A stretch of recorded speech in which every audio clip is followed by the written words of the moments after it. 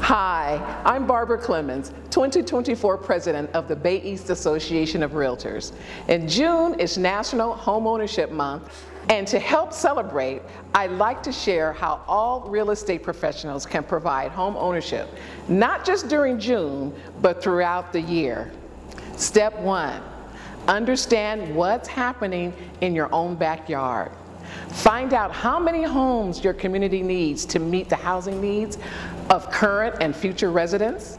You can do this by visiting your town's website and searching for housing element. This document is also a great source of information that will help you as a real estate professional also.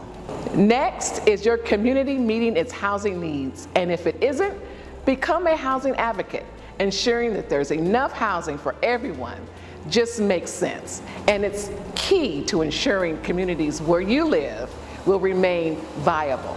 And finally, as a realtor, you advocate for housing every time you make an American dream possible. Want to step up your game?